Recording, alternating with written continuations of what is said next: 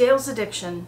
She is again who is to blame. Because she, on her YouTube channel, comes up with wonderful ideas. She starts fabulous conversations, and often I just have to participate in them. So this video is my take on her video about your luxury mindset. What does that even mean? Stay tuned and find out. Also, I have a little unboxing. I'm going to save this to the end of the video, so make sure you stick around all the way to the end to see what's in here. It's a designer handbag, and I don't have one quite like it.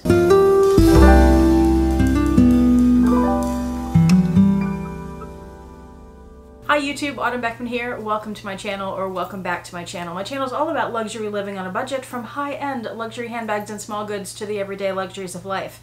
If that sounds interesting to you, please make sure you subscribe, click the bell notification icon to be notified when I post new videos, and be sure to like the videos that you enjoy.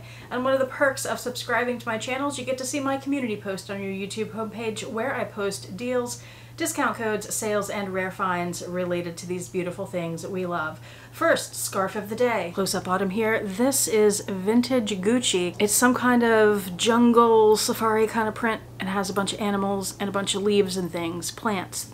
Not just leaves, plants. And I love it. I've had it for a long time. It's one of my oldest scarves. There are more animals in here and around there. Going back over there now. So Dayle's Addiction started this and she actually got the idea from someone who commented on one of her videos. So of course I will have her video linked below so you can go check that out and find out what she said, but I'll give you a quick overview here. She talked about her thoughts on setting rules and limitations for yourself when it comes to luxury, be they regarding spending rules or things you allow yourself to buy or not. She discussed minimalism versus excess and abundance, and she ultimately came to a conclusion that is similar to mine, but also different because we're coming from kind of different perspectives. Here are my thoughts. Dayle feels like you shouldn't have limitations and set rules for yourself when it comes to luxury because it's sort of anti-luxury. That luxury is about excess. It's about abundance. It's about enjoying something you love and maybe even being frivolous about it. However, Dayle, she talks about this in her video as well. She's coming from a more privileged place financially than most people are. Most of us do have to set limitations and rules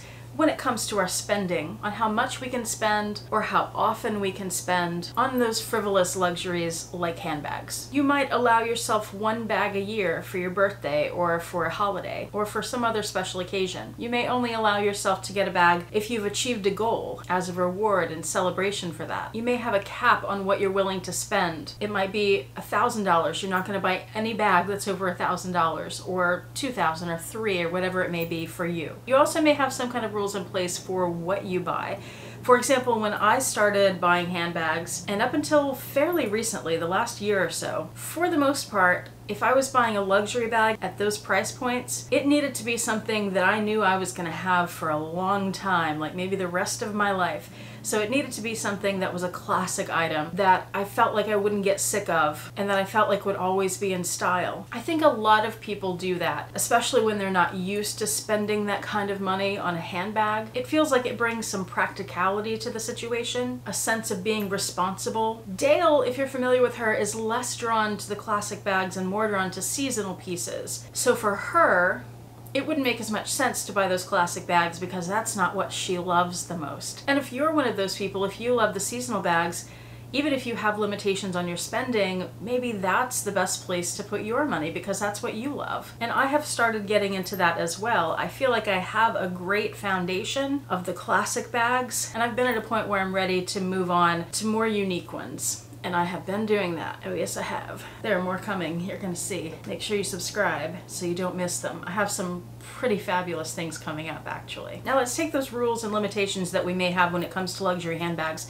Let's set those aside and let's talk more broadly about the luxury mindset that you have. And I mean, specifically, I'm talking about my luxury mindset here, but hopefully, this will get you thinking about how you think about luxury as well. My luxury mindset is the same mindset that I have for everything else in life. Just because there are rules and expectations in place doesn't mean you have to follow them. There are a lot of people that came before us that set rules and standards, expectations that became the norms for our current society, or for your culture, or for your family. You don't have to live by other people's standards. Other people made those rules up. you can make up your own. Figure out what's best for you and live your own best life. Also note that those societal and cultural and family rules and expectations, they change over time. They're not static. They change based on all kinds of things. Some people cling to them as if they're set in stone, but they're not. Maybe that's all they've ever known.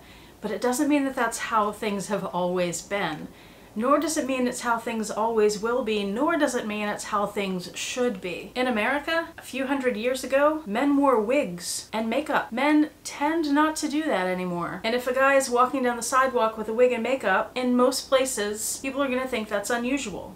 I'm not saying there's anything wrong with it, it's just not today's standard anymore. That standard has changed. Here's some criticism that I've received based off other people's standards. Women should have kids. I don't want kids, I'm not having them. Women should wear heels. I'm uncomfortable in heels. I'm not wearing them. You should have X, Y, and Z in place financially before you buy expensive handbags. It's my money, I can do what I want with it. You should buy a house. It's a waste of money to rent. I don't want to buy a house. My only other option is to rent. You have an old car? You should buy a new car instead of buying handbags. I love my old car. It's paid off. It's reliable. It's cute. I'd much rather spend my money on handbags than a car payment. Also, I just don't take money that seriously. Although I actually, believe it or not, am pretty responsible with it. If you're into handbags, you're materialistic.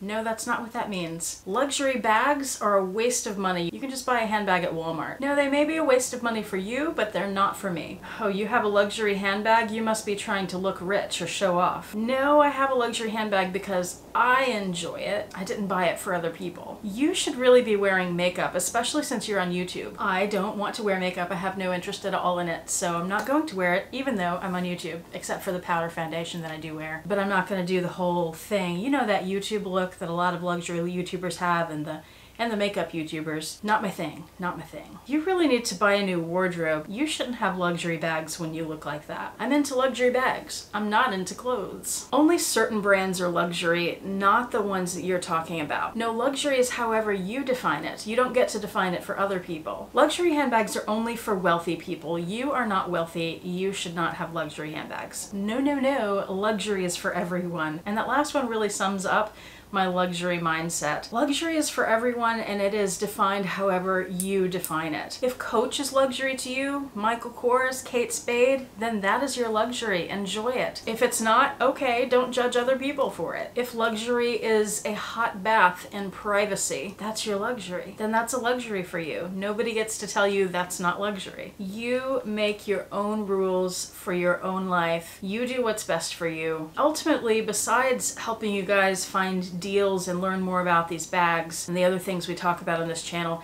that's ultimately what this channel is about and the message that I try to get across is be you. As long as you're not hurting anybody else, be your authentic best self. Don't let other people's ideas of what you should be affect who you are or what you buy or, or any other part of your life. Just be you. All right, let's get to this unboxing. I picked this up from the Real Real. Got it for a fantastic price. Here it is in the dust bag. Open it up. Very pretty. I was wondering if it was folded, but it's not. It's just in here sideways. All right, here we go. It is a Longchamp Le Pliage tote. It is smaller than I thought. They didn't have the size listed. They had dimensions, but who pays attention to those? I'm gonna bring it closer so you can see it better. The Le Pliage totes that I have, every one of them are nylon. And this one is my first leather bag. It's in black leather. It's pebbled or grained as you can see. The trim is a smooth leather. It's silver hardware. It said it had some corner wear and you can definitely see that on those two corners. Not so much on these two. I knew it was going to be there but of course they didn't have pictures of it so I'll just have to be okay with that. Inside there's the dust bag and it's lined in the Longchamp fabric with a little ribbon details. There's one zipped pocket on this side and on the other side there is one slip pocket and then a smaller slip pocket next to it. And there's also this leather bit with a little clip on the end. On one side at the seam, there's this leather tab that says Longchamp. It has the logo. And behind that is this plastic tab. It says Longchamp Paris, made in France. My guess would be that this is the medium size So here is how that looks, and I think that'll be great. Strap drop is really nice and comfortable, as it always is on Longchamp, and it was a fabulous price. It was under $200. I want to say it was maybe around 150 And other than that corner wear, which is pretty normal for Le Pliage bags, why it doesn't really concern me, it looks to be in fantastic shape. You know, I have a Louis Vuitton Neverfull in black epi leather, and I never carry it because the base is pretty stiff. So I was looking for something a little more malleable, softer. This this is going to fit the bill perfectly. And that's my little unboxing. Hope you enjoyed it. Please leave a comment below about your luxury mindset. Basically, your philosophy about luxury. What is it and why? Thank you so much for watching. I hope you have a fantastic day. Bye.